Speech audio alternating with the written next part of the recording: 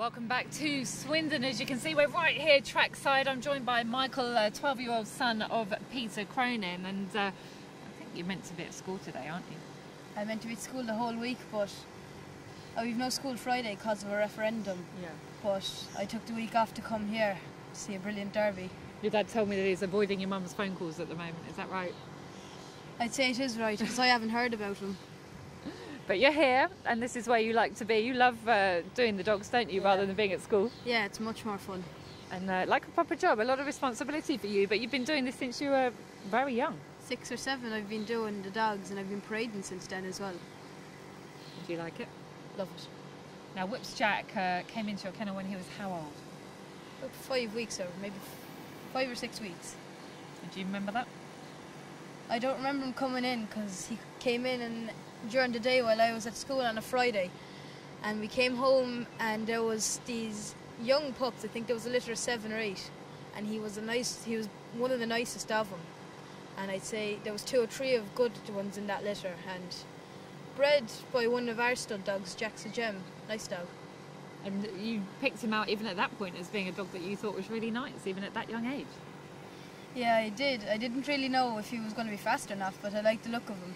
He was very nice, and he was unique about the way he went. The way whenever you galloped him, he went down to the gallop and he never come back up. So you'd have to, you'd have to bring him back up yourself. And you do a lot of galloping the dogs at home, don't you? Yeah, they gallop two or three times a week, every week. All the pups, about thirty of them. Me and Ross do 'em. Ross is your brother, Ross is my brother. Yeah, and you guys name the dogs as well. some of them, some of the nice ones, and they're nice dogs. Yeah. So, what have you made of Jack at Towcester? He's running very well at Towcester and he's braking he's braking very well and he's pacing up very well and he's running the bends perfectly.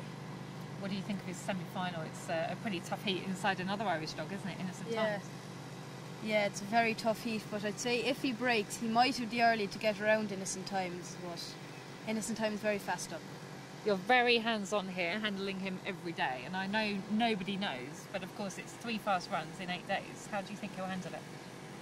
I'd say he'll handle it well because he's a he's a very fit dog and he's used to a lot of exercise because they gallop two or three times a week and they're very fit. This is their peak in their fitness.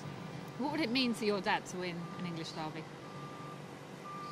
Very hard to explain it would be, and it would be a first for him. And he's had about I don't know he's had about seven or seven Derby finals, and he's came third, second in 2014 and 15. He came third and second. So it would mean a lot. I mean a lot, a lot. And for you, I know you'd be thrilled for your dad, but would you love it if you could win it? I'd love it if we could win it, because it's very good to win. To win, it's very good to win 20 grand stake. Let alone the derby would be one of the best things to win, if not the best thing to win. And for you, would you like to have an English derby finalist one day? Are we going to see you training here one day? Well, that all depends.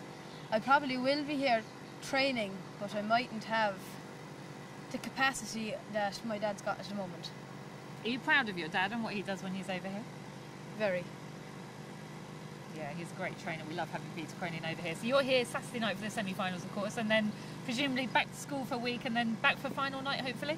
Yeah, we'll be back final night if we're there, and we'll be go flying back Sunday.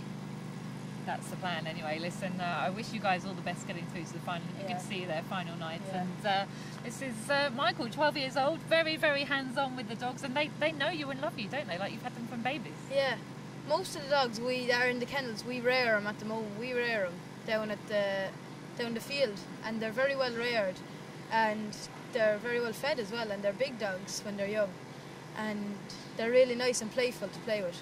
Oh, lovely. Well, listen, great to talk to you. Thank you for talking to us, and uh, hopefully I might talk to you Derby final night.